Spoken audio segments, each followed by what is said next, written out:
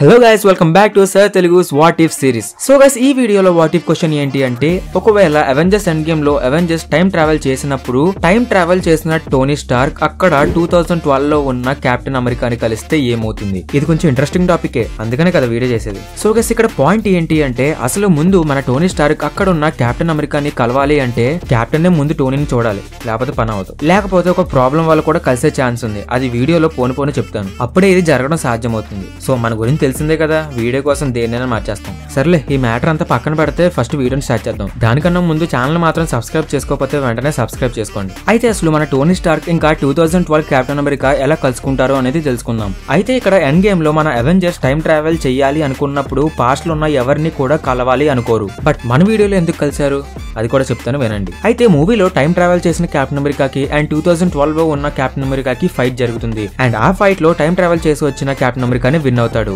But మన video కోసం ఇక్కడ two thousand twelve cap America win అయ్యాడు అనుకుందాం. సో ఇప్పుడు టోనీ ఖచ్చితంగా కెప్టెన్ను కలుస్తాడు. అయితే ఇప్పుడు లోకి అవెంజర్స్ దగ్గరే ఉంటాడు. సో టూ థౌసండ్ ట్వెల్వ్లో ఉన్న అవెంజర్స్కి ఒక క్లారిటీ వస్తుంది. మిగిలిన అవెంజర్స్ అందరూ కూడా నిజంగానే టైం ట్రావెల్ చేసి వచ్చారు అని. సో ఇది కన్ఫర్మ్ అయిన వెంటనే two thousand twelve Tony Stark అడిగే ఫస్ట్ క్వశ్చన్ ఏంటి అంటే నువ్వు ఇది ఎలా చేసావు అని. ఎందుకంటే టోనీ స్టార్క్ గురించి తెలిసిందే కదా ఏదైనా తెలుసుకోవాలని ఆతృత ఎక్కువ. సో ఇక్కడ మన టోనీ స్టార్క్ గానీ టూ థౌసండ్ ట్వెల్వ్లో ఉన్న టోనీ స్టార్క్కి ఏం చెప్పినా సరే తను వెంటనే టైం ట్రావెల్ను కనిపెట్టేస్తాడు.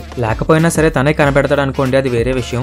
సో ఇక్కడ వీళ్ళందరూ కలవడం వల్ల ఈజీగా టూ ఇన్ఫినిటీ స్టోన్స్ అనేవి అవెంజర్స్కు దొరికేస్తాయి. ఒకటి టెస్టాక్ ఇంకొకటి మైండ్ స్టోన్ రెండు వాళ్ళ దగ్గరే ఉంటాయి కాబట్టి పెద్ద ప్రాబ్లం ఉండదు. సో ఈ స్టోరీ ఏదో కొంచెం బాగుంది అనుకుంటున్నారు కదా గైస్ కానీ ఇలా జరిగితే మాత్రం అసలు బాగోదు. ఎందుకో చెప్తాను వినండి. ఒకవేళ ఇలా జరిగితే మాత్రం ఎండ్ గేమ్లో రెండు ఎమోషనల్ సీన్స్ని మిస్ అవుతాము. అండ్ ఇంకా చాలా మిస్ అవుతాం. అవి ఏంటో చెప్తాను వినండి. సో గైస్ ఇక్కడ అవెంజర్స్కి రెండు ఇన్ఫినిటీ స్టోన్స్ దొరికేశాయి. సో వాళ్ళు టెస్టాట్ కోసం ఇంకా పాస్ట్కి ట్రావెల్ అయితే చెయ్యరు.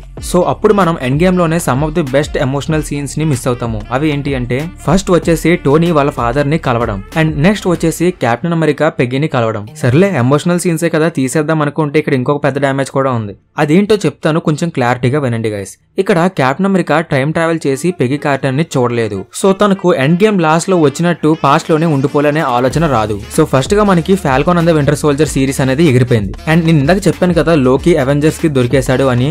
సో ఇక్కడ లోకి సిరీస్ కూడా ఎగిరిపోయింది. సో మార్వెల్ చేసిన సిరీస్లో చెప్పుకోదగ్గ సిరీస్ అంటే ఈ రెండే ఉన్నాయి. అవి కూడా ఎగిరిపోతే ఎలాగా సర్లే సిరీస్ లే కదా వదిలేద్దాం అనుకుంటున్నారేమో ఇంకా చాలా మ్యాటర్ ఉంది చెప్తాను వినండి. ఇక్కడ లోకి సిరీస్ జరగలేదు కాబట్టి సిల్వి ఈహూ రిమైన్స్ని చంపే ఛాన్స్ లేదు. ఎందుకంటే సిల్వి లోకి సహాయంతోనే ఈహూ రిమైన్స్ దగ్గరికి వెళ్తుంది కాబట్టి.